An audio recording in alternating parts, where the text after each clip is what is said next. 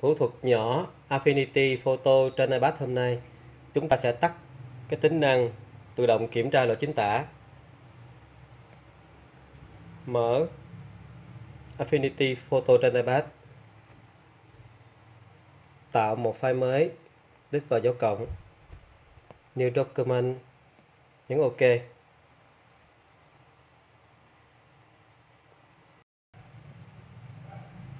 Chúng ta sẽ dán một đoạn test vào đây để tắt tính năng tự động kiểm tra lỗi chính tả. Tôi lấy test từ not giữ not và kéo lên trên, di chuyển lên trên màn hình.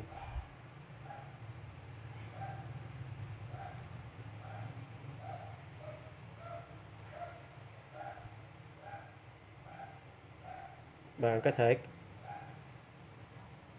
chọn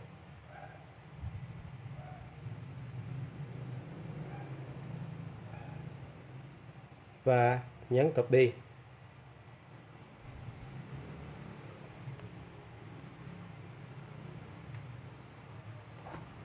trong Affinity Photo, chúng ta chọn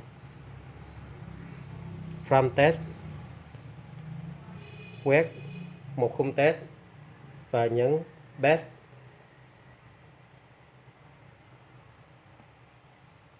Đóng cửa sổ, nốt lại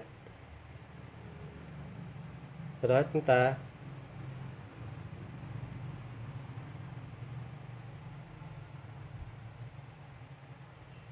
Giảm.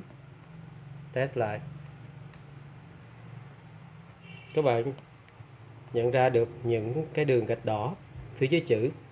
Đó là tính năng tự động kiểm tra và chính tả.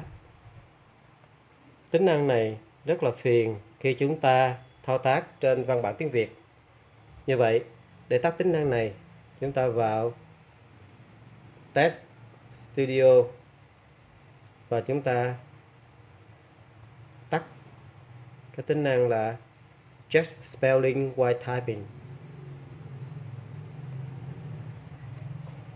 Từ giờ trở đi, bạn thoải mái, dàn trang mà không bị phiền phức về những cái đường gạch đỏ phía dưới chữ nữa.